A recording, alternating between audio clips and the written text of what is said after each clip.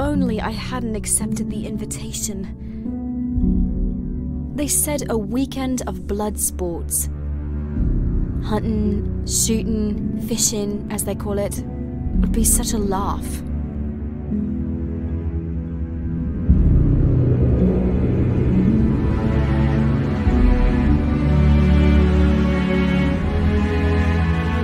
But when I woke up in the morning and saw the stag's head staring down at me, I knew this wasn't a game.